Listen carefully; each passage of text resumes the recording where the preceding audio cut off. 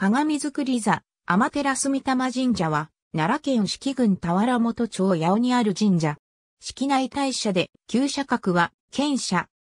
4から5世紀にかけて、鏡類を制作鋳造していた鏡作り部がこの地一帯に居住し、お鏡並びに塩素を氏神として開いた神社であるとされる。祭神は次の見柱。新名帳における祭神の記載は一座であり、社名は鏡作りに鎮座する天照住玉神の社という意味であることから、本来は天照住玉神を祀った太陽信仰の神社とされる。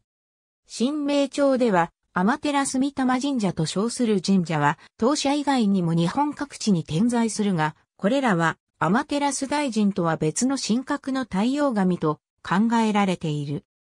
危機によると、崇神天皇6年、皇居内で祀られている天照大神を恐れ多いとして、重縫の湯の地に潜座したとし、社殿によると、崇神天皇6年9月3日、この地において、非、五像の鏡を鋳造し、天照大神の御霊となす。今のうち侍どころの新京勢なり。本社は、その増強を、天、照国照彦神命として祀れるもので、この地をこうして、鏡作りというとある。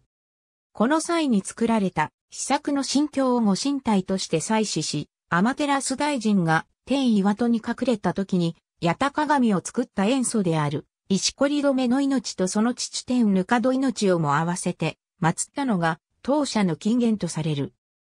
和名称には、大和国上海軍の城に、鏡作り号と記載があり、この地には防政教の政策に従事した鏡作り部が居住していたとされることから、当社の創建には鏡作り部との関係が強いものと考えられる。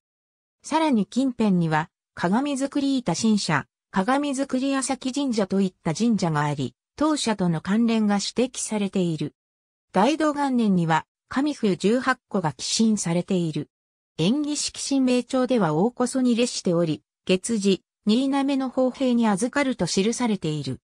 天安3年1月27日、15位下から15位上の深海を賜る表記は、鏡作り天照住玉神中世以降は鏡作り、三初大明神と呼ばれていたが、江戸時代に田原元藩が設置されるまでは荒廃していたという。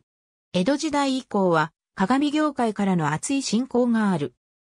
明治に入り神仏分離令が出されると、当社の神宮寺であった真言宗藩を赴き、山の神宮寺に気楽院は廃寺となった。しかし、その首楼のみは残されて、現在に至る。1873年4月に豪舎に列し、1936年には、県舎に列した。